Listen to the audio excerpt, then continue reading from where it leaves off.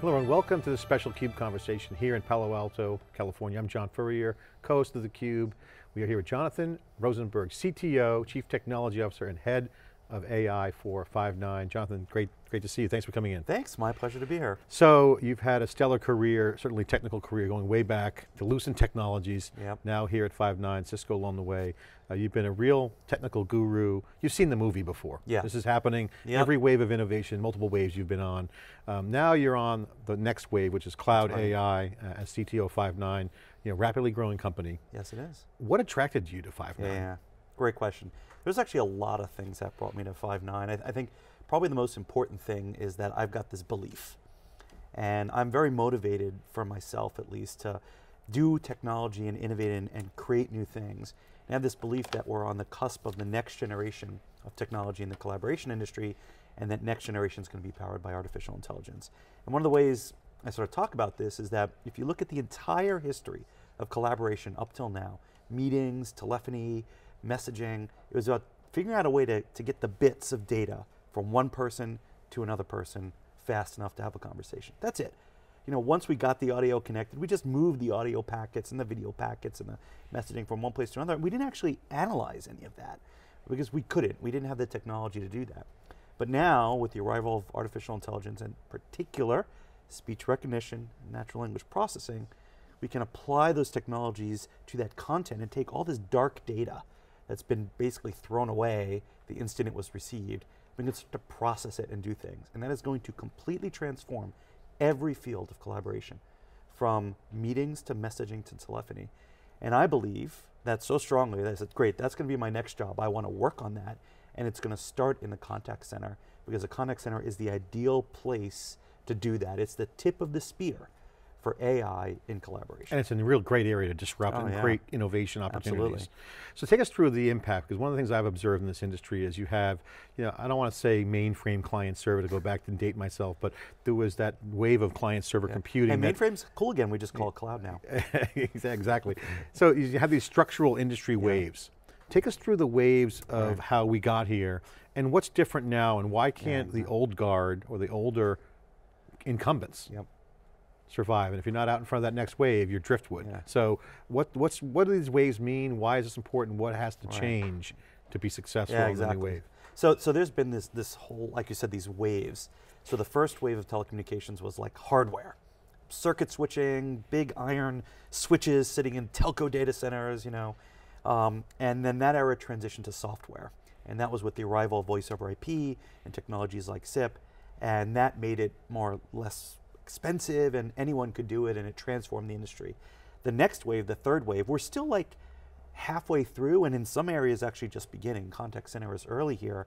The third wave is cloud, right? Is now we're moving that software to a totally new delivery vehicle that allows us to deliver innovation and speed. And that wave has now enabled us to start the next wave, which is only in its infancy, which is AI right? And the application of machine learning techniques to automate all kinds of aspects of how people communicate and collaborate. I think cloud is a great example. We've seen AI, which has been a concept around when I was in computer science back oh, in yeah. the 80s. There was AI uh, you know, theory and, and it's the science of it is not so much change, but computing is available. Yeah. The data to be analyzed for the first time is available. Yeah. You mentioned analyzing the, the bits. Right, exactly. Is now right. a key part. Yeah. What does it actually mean to, to someone who's either has a contact center or has a large enterprise says, you know what, I got to modernize. How does AI fit them? What is actually going on? Right, great question. So AI actually can solve lots of different problems. At the end of the day, again, AI is like, there's a lot, it's, all, it's the biggest buzzword, right? uh, know, it's in my title, so like I'm a little guilty, right? But Definitely got a pay raise for it. but what it comes down to is really this core idea of machine learning, which is really like a fancy new algorithmic technique for uh, taking a bunch of data and sort of making a decision based on it. Yeah. So, and it turns out, as we've learned, that if you have enough data and you can have enough computing and, and we optimize the algorithms, you can do some amazing things, right? And it's been applied to areas like speech recognition and image recognition and all these kind of things, self-driving cars that are all about decision processes. Do I go left, do I go right? Is this Bob, is this Alice? Yeah. Did the user say and or did they say or? Right, those are all decision processes that yeah. these tools can automate. What does it mean in the contact center? It means everything in the contact center. If you look at the contact center, it's all about decision processes. You know, where should this call get routed? what's the right agent to handle the call right now? When the agent gets the call, what kind of things should they be saying? Mm-hmm. Uh, what do I do with the call after the call is done? How should the agent use their time? All those things are decision processes and they're key to the contact center. So, the, so AI and ML are going to transform every aspect of it, and most importantly, analyzing what the person is saying, connecting with the customer, allowing the agent to be more effective. You know, I think this is really one of the most cutting edge areas of the business and the technology, and Rowan, the CEO, was talking about you know, emotional, cognitive right. cognition around yeah. you know, uh, connecting with customers, and data certainly is going to be a yeah, big yeah. part of that. But mach as machine learning continues to get its sea legs, yeah. you're seeing kind of two schools of thought. I call it the Berkeley school, hardcore mathematics, uh -huh. throw math at it, and then you got this other side of a, uh, machine learning, which is much more uh, learning. Yeah. You know, it's less math, more about adaptive and self-learning. One's deterministic, one's non-deterministic. You're starting to see these use cases where, yeah. yeah, there's a deterministic outcome. Right. Okay, throw machine learning at yeah. it, great. Exactly. Boom. Yeah. Help humans can curate, create knowledge, create value. Then you've got a new emerging use case of non-deterministic, like machine learning environments where I could be driving my Tesla down the road or I, my company's running the contact center. I got to understand what's going to happen before it happens. Right.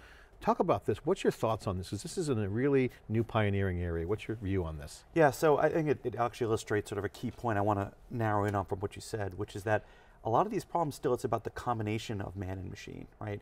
It's that there's things that, you know, are going to be hard for the machine to predict. So the human in their usage of the product teaches the machine, and the machine as it observes helps the human achieve mastery.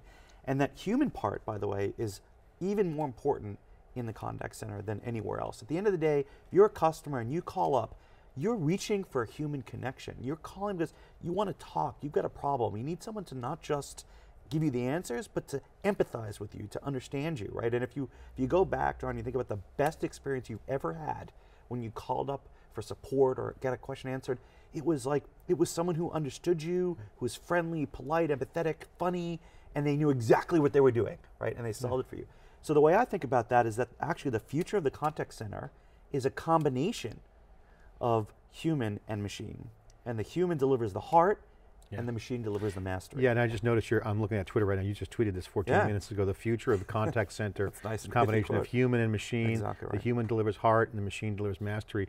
I think this is so important because unpacking that, you, you, words like trust come out. Yes. Uh, truth. Exactly. Um, relationships. Yeah. So when you ask about my experiences, it's when I've gotten what I needed, yeah. knowledge or the outcome I wanted, plus I felt good about it. Right. I trusted it. I trusted exactly. the truth. It was, yeah. And you're seeing that in media today with fake news, you're seeing it with digital has kind of almost created this anonymous, yeah. non-trustworthy, it's data. There's been no real human yes. packaging. So I think yes. you're, so I'm hearing you, you're on the side of humans and machines, yes, not just right. machines being the silver bullet. Absolutely, absolutely. And, and again, it goes back to sort of the history of the contact centers. There's been this desire to like, just make it cheaper, right? But as the world is changing and as customer experience is more important than ever before, and as now technology is enabling us to allow agents and human beings to be more effective through this, this symbiotic relationship that we're going to form with each other, like we can actually deliver amazing customer experiences, and that's what really matters.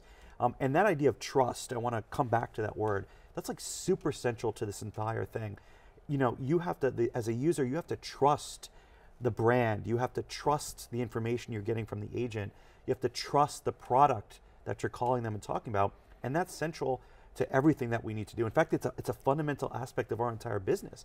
In fact, if you, th again, think about it for a moment here, we're going to customers who are looking to buy a contact center and we're saying, trust us. We're going to put it in the cloud. We're going to run it. We're going to operate it for you. And we're going to deliver a great, highly reliable experience. That takes trust too. So one of the things that, back to your early, early question, why did it come to Five9? One of the things it has done is build this amazing trust with its customers through its huge, amazing reliability, uptime, yeah. a great human process of how we go and work with our customers. It's about building trust at every single level. So I want to put you in the spot here because I know you've seen many waves of innovation. You've seen a lot of different you know, times, but now it's more accelerated. You got cloud computing, you got AI, much more accelerated innovation cycle. So as users expect to interact with certain kind of environment, uh, Rowan talked about this in his uh, interview, the CEO, Rowan Trollope. So users want to be served in the channels that they want to be yep. served in. So having a system that they have to go to to get support, they want it where they are, right? Yes, so exactly right. how is the future of the customer interaction, whether yep. it's support or engagement, is going to take place in context to non-linear discovery progression, meaning, Right. or they're going to service themselves in the organic digital space. I don't necessarily want to go to a site per se. How do you see the future evolving around this notion of organic discovery, talking to their friends, finding things out? Does that impact how Five9 sees the future? Yeah, absolutely. And I, and I think it gets back to sort of an old idea of omni-channel. I mean, this is something that the contact center people have been talking about for like forever, like the last 10 years, right? And, and its original meaning was just this idea of, oh, you know, you can talk to us via chat, or you can send us an email, or you can send us a text, or you can call us, right? And, and we'll work with you on any of those. But like you said, actually what's more interesting is as customers and users move between those things, and it actually switches from reactive to proactive, right? Where we actually treat those channels as well, depending on what the situation is. We're going to gather information from all these different data sources, and then we're going to find the right way to reach out to you and allow you to reach out to us in the most efficient way So you possible. see a real change in user Oh, yeah. expectation experience with real, real contact. Yeah, yeah. I mean, I mean, the one thing that technology has delivered is a change in user expectations on how things work. And if you look at the way we as human beings communicate with each other, it's dramatically different today than it was really just just a few years ago, right? So Jonathan, let's look under the hood now in terms Yeah. of the customer environment because certainly I've seen legacy after legacy systems being deployed. It's Yeah. almost like cybersecurity kind of matches the same kind of um, trend that you, in your world, which is throw money at something and then build it out. So there's a lot of sprawl of solutions Yeah. out there around trying to solve these problems. Yeah. How does the customer deal with that? Yeah, and they're yeah. going forward, they're on this new wave, they want to be modernized, but they got legacy, they got Yeah. legacy process, Yeah, yeah. legacy culture. Right. What's the key technical architecture? How do you see them deploying this? What's the steps Yeah. that they should take, Yeah. in your opinion? It will surprise you not one drop when I say it's go to the cloud, right? um, and and there are real reasons for it. And by the way, this is going to be I'm going to be talking about this at Enterprise Connect. So so tune in Enterprise Connect. I'm going to be talking about this. Um, there's a ton of reasons, five huge ones actually, about why people need to get to the cloud. Um, and one of them is actually one of the ones we've been talking about here, which is a lot of this modernization is rooted in artificial intelligence. And it turns out you just cannot do artificial intelligence on premise. You cannot. So the traditional gear, which used to be installed and operated by legacy vendors like Avaya, you know, they go in and Genesys, they go in, they install a thing, and it works just for one customer at a time. The only way artificial intelligence works is when it gathers data across multiple customers. So multi-tenancy and artificial intelligence go hand in hand. And so if you want to take any benefit from the stuff that we've been talking about in this conversation, the first step is you've got to take your contact center to the cloud just to begin building and adding your data to the set and then leverage the AI technologies as they come out. So data is the central equation in, in all this because good data feeds good machine learning, good machine learning feeds great AI. Exactly right. So data is the heart of this. yes. So data, making data in the cloud addressable Right. seems to be a key thought. Your reaction and what are you guys doing with A- respect to that? Absolutely, absolutely. And this is, by the way, another reason why I joined Five9 that I've been speckling in here. I said, all right, if data, if AI, if the future is about AI, as I said, that's what I want to do in collaboration. You need data to do that. You actually have to work for a company that has a lot of data. So market leadership matters. And if you go look at the contact center and you go look at all the industry and analyst reports, like it made it pretty obvious, like who to go to. There was like the leader in cloud contact center uh, with with uh, tons of agents and tons of data uh, is Five9, and uh, and so that's that's why I'm here. So building the data, aggregating data. That's one of the first things I'm working on here. Is how do we increase and utilize the Yeah. data that we've been gathering for years. And, and a lot of the, we, we've had this conversation with many customers before about Yeah. silos. yes. Silos kill innovation when That's it comes right. to data Yeah. addressability. Your thoughts on that and what customers can do to start thinking about breaking down those silos. Yeah, exactly.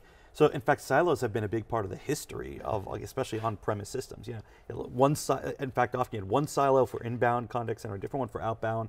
Different departments, by the way, also had their own different contact centers, and then you had other tools that had other data. You had a, you'd have like a separate tool over there for CRM and a different tool over there um, for WFO and WFM and something else for QM, and all these things were like barely integrated together.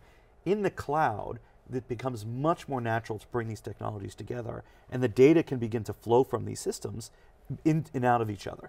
And that means that we have a much greater access to data and correlated data across these different things that allows us to automate all over the place. So it's this positive reinforcement cycle, uh, cycle that you only get when you're when you've gone to the cloud. So the question I want to ask you is more customer, so I'm pretending I'm a customer for a second. I will ask you, Jonathan, what's the core innovation for me to think about and bring to my organization if I want to go down the modernization? How do you answer that question? What is the core innovation strategy that I should have? Right. Obviously moving to the cloud is one, yeah. but beyond that, is it just cloud, then what else? What do right. I need to be preaching internally and organizing my culture around? Yeah, great question. So I mean, I think the cloud is sort of the enabler of many of these different pieces of innovation, right? So velocity and speed is one of them. Again, setting up and adjusting these things used to be super, super hard. Uh, you wanted to add agent seats, oh my gosh, you don't have to go buy new hardware and rack and stack boxes and whatever. So even simple things like reactiveness, right? That's something that's important to talk about is that uh, many of our customers and their businesses are highly seasonal, right? We've seen like someone showed me a graph. This was like, oh my gosh. Like it was a, it was a company that was doing um, a, uh, a telethon and they said, here's how many agents they have over this year. It was like two agents and then it shut up to like 500 agents yeah, for like two bank. days, exactly, and drop back down. And I'm like, if you think about a, a, business like that, you could never even do that. And so the, the so cloud is nice, but the the way you talk about it, and as an IT buyer of these technologies, you talk to your business owners about reactiveness, speed, velocity, right? That's what matters to a business, and then customer experience. Yeah, one of the things, uh, just to kind of end the segment, I want to get your thoughts on, I'm going to bring kind of an industry trend yeah. that's, um, I think might be a way to kind of talk about some of these core problems around data. Most mainstream people look at Facebook and saying, wow, what a debacle. they use my data, they're using yeah. it against me, I'm yeah. not in control of my data. You're seeing that weaponization, you yes. know, people are saying elections were rigged. So weaponizing data yes. for bad yes. means there's content and there's context and, right. and infrastructure. That's right, cloud. that's right.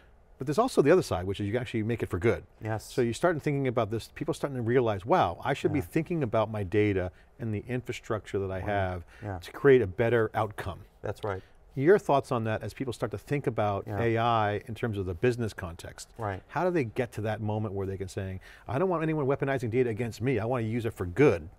How do they, how do they actually well, it, think about it? comes back to trust, by the way, right? Is that, you know, and, and to some degree, it's an uphill battle due to some of these debacles that you just talked about.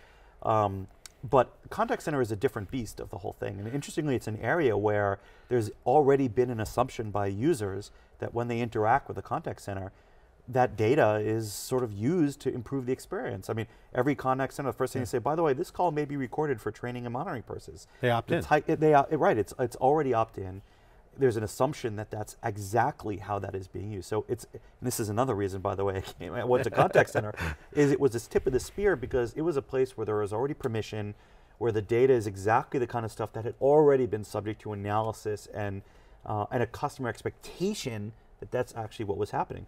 The expectation was there, the ability to action that data, what was missing? Yeah. So now we're filling in the ability to action on all that data with artificial intelligence. And final question, what's your vision going forward as CTO and AI? What's the vision of Five9? Where do you, where do you see the 20 mile stare for uh, Five9 within context yeah, of the industry we just talked about? Yeah, yeah. So, so it's, it's about revolution, I'll be honest, right? And I tell people like, I'm not like an incremental, steady Eddie CTO. Like I do things because I want to make big changes. And I believe that the contact center is on the cusp of a massive change. And my boss Rowan said this, and this has been actually central to how I'm thinking about this. The contact center in the next five years will be totally different than the 25 years before that. As a technologist, I say, wow, five years. Like that's not very long in terms of software development. That tells me we're going to pretty much rewrite our entire stack over the next five years and show what should that start to look like. Yeah. So for me, it's about how do we completely reimagine every single aspect of the contact center to revolutionize the experience by merging together human and machine in totally new ways. And the innovation strategy is cloud and AI. Cloud and AI. And data, great. Jonathan, great to have you on. My pleasure. Great, great conversation. Quick plug for you guys, you're going to be at Enterprise Connect, theCUBE will be there covering the event as well. What are you going to talk about there? What are some of the interactions? What will be the hallway conversations? What's your objective? Yeah, What's your focus there? Exactly. So, so I'm going to be having my own session where I'm going to be talking about the five reasons that you may not think about yeah. to go to contact center in the cloud. I've hinted already at you just one us, of them. I think well, you gave two. Well, oh, well oh, okay. that's how you count it. You know, AI is clearly central, and I'm going to sort yeah. of talk about the other four. Great, great conversation. A lot of change, massive change happening. Great innovation strategy, great mission here at Five9. Great great mission around changing and reimagining more change in the next five years than the past 25 years. Again, cloud computing and AI is doing it. There'll be winners, there'll be losers. We'll be following it here on theCUBE. Jonathan Rosenberg, CTO and head of AI at Five9's. I'm John Furrier with theCUBE. Thanks for watching.